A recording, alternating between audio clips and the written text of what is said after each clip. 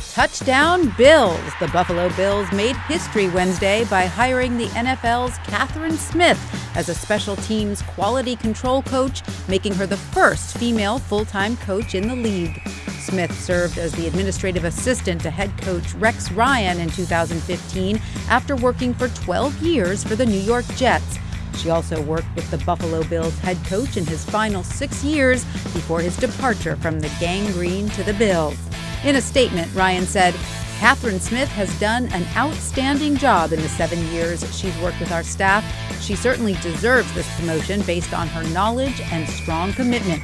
But Smith is hardly the first woman breaking barriers in the world of sports. In 2014, former six time WNBA All Star Becky Hammon became the first full time salaried female assistant coach in NBA history when she was hired as assistant coach for the San Antonio Spurs. Hammon was the team's head coach for the Summer League, leading the Spurs to a Summer League title in 2015.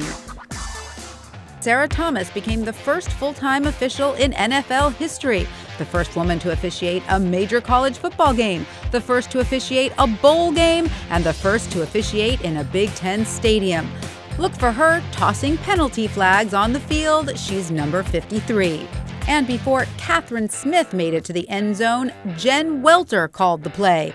Welter served a six week training camp internship during the summer of 2015, coaching inside linebackers for the Arizona Cardinals. Play ball. The Seattle Mariners hired Amanda Hopkins as an area scout in December. In announcing Hopkins' hiring, the team said she's believed to be the first female hired as a full time assistant scout by a major league team since the 1950s.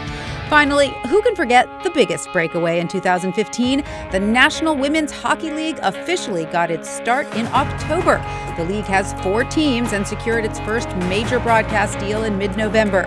The league boasts everything from collegiate players to former Olympians like Hilary Knight, Kacey Bellamy, and Brianna Decker.